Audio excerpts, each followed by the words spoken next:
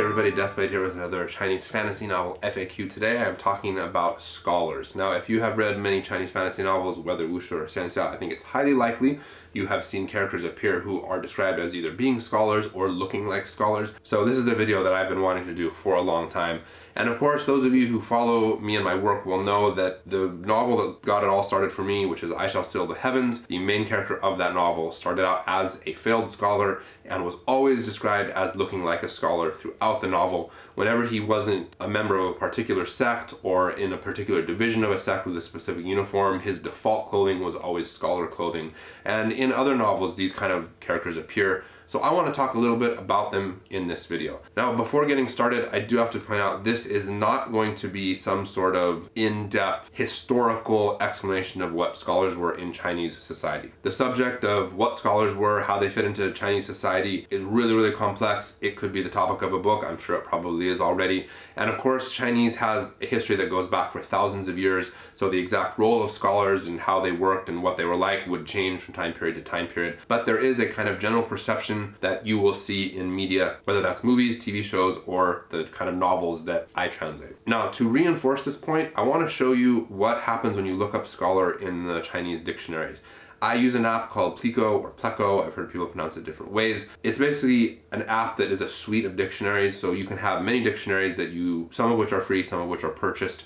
I've purchased most of the dictionaries on the app because as a translator I want to have as many references as possible and I do use other dictionaries besides these but this is the main app I use for looking up words. When you look for a word it will list the definitions from many different dictionaries and so if you search for scholar you pull up more than one definition. So what I did was I actually took screenshots, I scrolled through the list, I took screenshots, I went into Photoshop and I took out all of the irrelevant ones because there are things like idioms that reference scholars, there are a lot of general sort of adjectives that describe them, which I left some of those in, but I took a lot of them out. So essentially I pared down this list to what I felt was most relevant. It is actually pretty long. That's the kind of the point of why I did it. I want to show you how long it is. There could be some repetition in there. I didn't take time to literally go through every definition to make sure there wasn't a repetition from the top toward the bottom or something along those lines.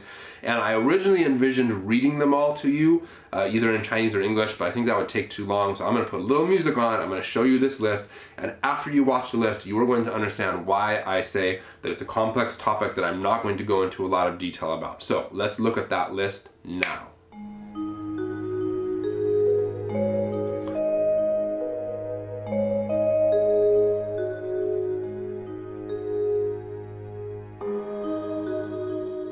Three days later.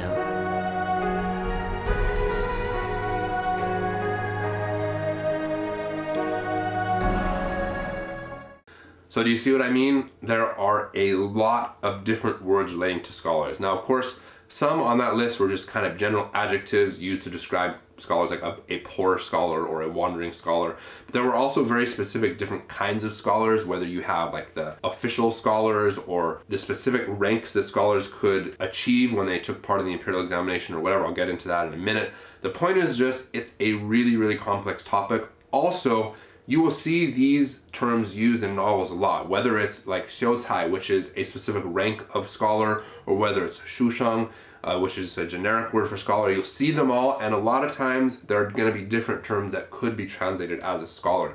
So as with many of the other videos that I have done talking about specific Chinese words, it's going to be difficult for you as a, an English reader to know specifically what type of scholar is being mentioned in Chinese when there are so many different words that could just be translated as scholar. So the two examples I just pointed out, Xiucai and, and Shusheng, those are the ones that I see the most often, but there are many others. The first one, Xiucai, as I mentioned, is a specific rank that a scholar could achieve. The other is just kind of a general term for somebody who is into learning.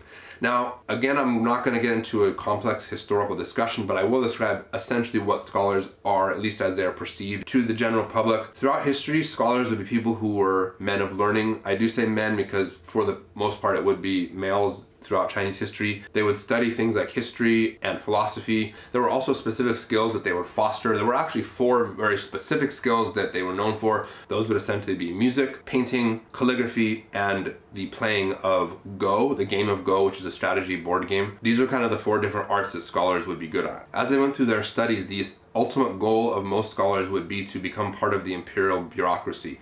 So starting way back thousands of years ago and proceeding through many dynasties, there were different versions of these imperial examinations in which scholars would go to the capital or to some other place to take, depending on which part of the exa examination they were in, they would take a, an exam testing certain skills and abilities and their knowledge and then depending on how they perform in the test, they might be rewarded with an official rank in the government. And the people who scored top would obviously get the best positions, and at that point you become a government official. So basically the goal of scholars in general was to become one of the government officials. That said, it was really hard to pass those tests. So a lot of people who would be scholars would be men of learning, people who studied and were skilled at different things but didn't manage to make it into the imperial bureaucracy. And then they would become members of society. They might sell their services, for example, calligraphy, this is something you'll see in wushu movies a lot. You'll see these kind of like roving scholars who are obviously not part of the imperial bureaucracy, but are skilled at different things and they're like wandering around part of the jianghu, part of the martial arts world.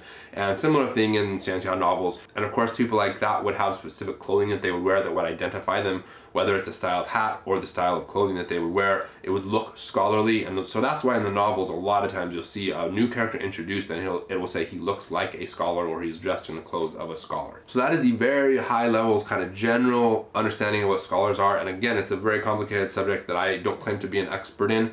If you are interested, you can always do a little bit of research on your own, whether it's online or there are plenty of books that you can find that talk about the history of China and you can learn more about what scholars were like, whether they were the official members of the government or whether they were people who had failed to do that. Perfect example, of course, going back to what I mentioned earlier is the main character of I Shall Seal the Heavens. His name was Meng Hao and he was a failed scholar. He took the exams over and over again and kept failing. Not something that would happen in real life. There would be people who maybe for decades would try over and over again to try to pass those exams. It didn't matter when, when you passed them, if you were young, middle-aged, you could still get a government position and that government position would come with a big income, lots of power and protection and so of course it was a very coveted position.